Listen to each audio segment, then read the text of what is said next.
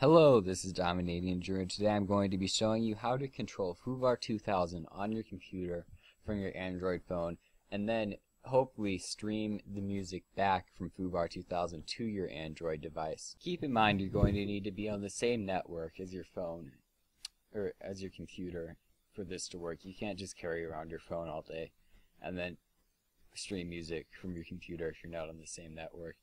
I'm sure it's possible, and if you want me to, you can leave a comment and I'll try to find a way. I'm not sure how stable that would be though, and how much it would work.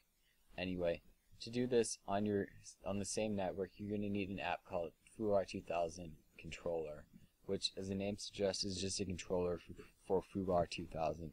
I'll leave a link to this in the description. Just install it on your Android phone. I'll assume you know how to install an app on your phone or tablet. And then for the desktop side, you're going to need com the computer setup. I'll leave a link to this too. It's just a Mediafire link. Um, it'll install a component and some files to your computer. So just download this. And then open it once it's done. Run. Next, it'll install some files and then a component called HTTP control and then playback statistics, but you probably have that already. If you don't, then I'd recommend getting it.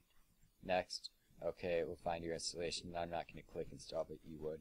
Then after that, you'll have a new component on FooBar 2000 called HTTP control, which will allow for remote control.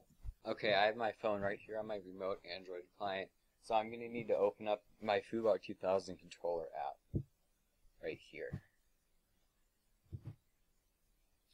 Once that's open, it's going to ask you to log in, I've already, or not log in, type in your computer's IP address and create a new computer.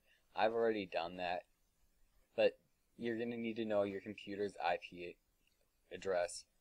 To do this, just open up a command prompt in Administrator, type ipconfig, that's ipconfig, and then scroll up, it'll come up with this. Scroll up until you get to your Ethernet or Wi-Fi adapter, or not VirtualBox your local area connection or whatever you're using. And then the IPv4 address is right here. Mine is 192.168.1.90. Make sure it's your real network, not VirtualBox or something like that.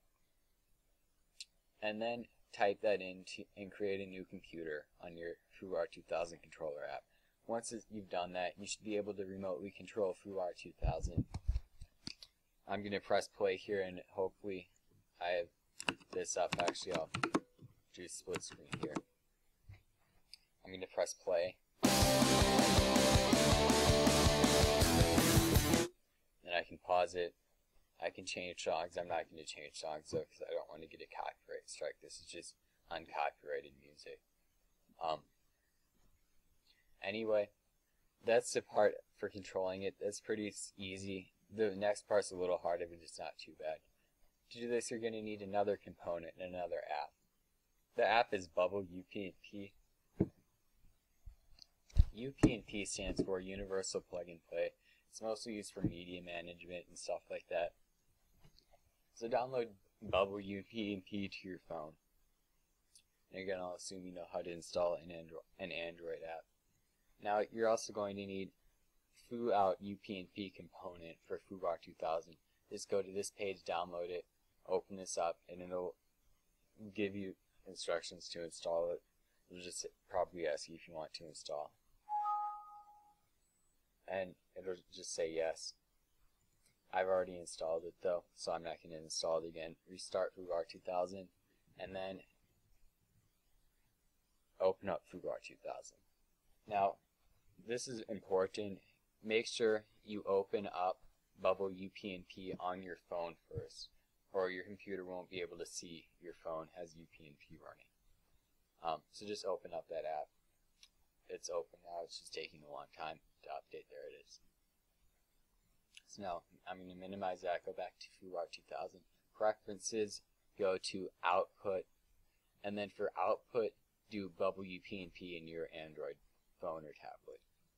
Now you can change the buffer length if you want, but I wouldn't mess with it unless you're having problems. Okay? Now, as you play music, it should play to your phone instead of your computer. And then you can use the other app to control the music remotely. So this way you should be able to listen to music for on your computer anywhere in your house, which is especially useful if you have a home speaker system. You could just probably use a control method, then you wouldn't need the playback. But if you just want to listen to music on your phone, this is useful. Anyway, if you're having problems, leave a comment or head over to the forum listed at theinformingboard.com. If you like this video, then like it and comment if you have a comment and subscribe if you want future videos like this. Thank you.